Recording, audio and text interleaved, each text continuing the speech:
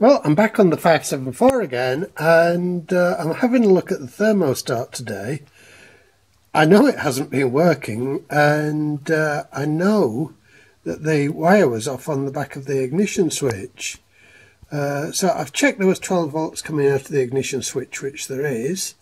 Uh, and I'm going to pull this wire off here on the uh, Thermostart button.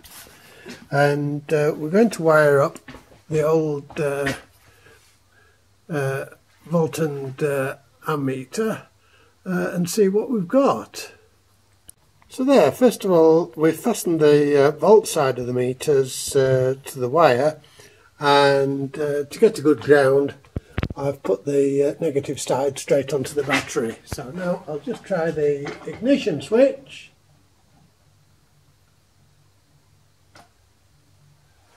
And yes, we're quite clearly getting uh, power to the uh, unit. So now I've fastened the uh, amp side up. Uh, got the red one to the wire and the black one to the terminal on the Thermostart. We'll try the ignition switch again.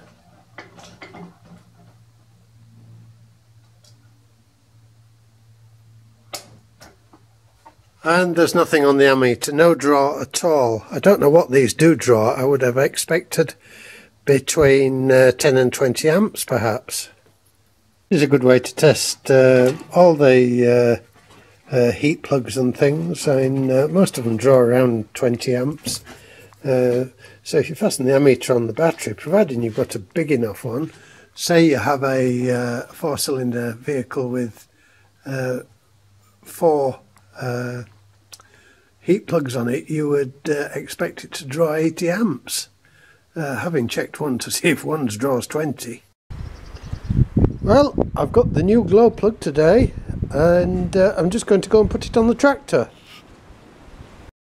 So I have uh, just screwed it in, 15 16 spanner and a 17 16 spanner for the pipe nut and I temporarily blocked the uh, pipe to stop the diesel dribbling, dribbling out. And the answer is it uses about 10 amps. There was a wire off the ammeter, I've put it back on and now when you work the heater you can see the uh, needle move. So we'll hold it on for 30 seconds or so and uh, see if the tractor starts.